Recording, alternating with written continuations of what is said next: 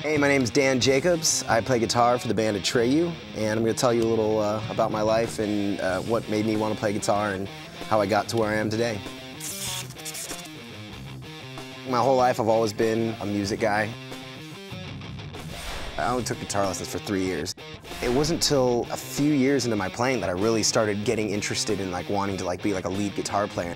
I have influences that, that run across the whole board. Green Day, Rancid, Eddie Van Halen, George Lynch, Warren DeMartini. I was like, gosh, man, I want to be like that so bad.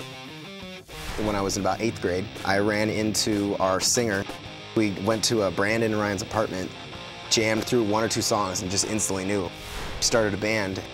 Everything kind of started happening after that. Just seeing all these different possibilities, all these crazy things that you know can come out of just playing guitar and playing music. You know, it's a, it's a, it's an amazing thing. My gear. I like to play ESP guitars. I'm a big fan of Marshall. As far as strings go, I'm a Dean Markley guy. I use the, uh, the Blue Steels, a wah pedal, a Boss uh, overdrive pedal, Boss like noise suppressor, the Ibanez uh, tube screamer, Digitech stuff, the chorus or the delay, guitar picks, Dunlop, um, the 2.0s. All right, now we're gonna work on a song called Becoming the Bull. The tuning for this is in drop C, tune up with me. We'll start with uh, the high E and work our way down.